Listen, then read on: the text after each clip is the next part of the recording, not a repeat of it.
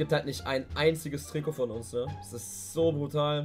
Das tut so weh. Irgendwann werde ich die Mods beauftragen, sich mal eine ganze Nacht hinzusetzen und zu snipen. Ah! Hab ich ge... Nein! Das Leben ist unfair. Es tut so weh.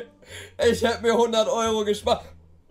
Oh mein Gott, Digga. Das hat resettet. Digga, ich dachte gerade, es ist eine ganze Seite Schalke-Trikots drauf. Oh mein Gott, Digga, weil es sich resettet hat.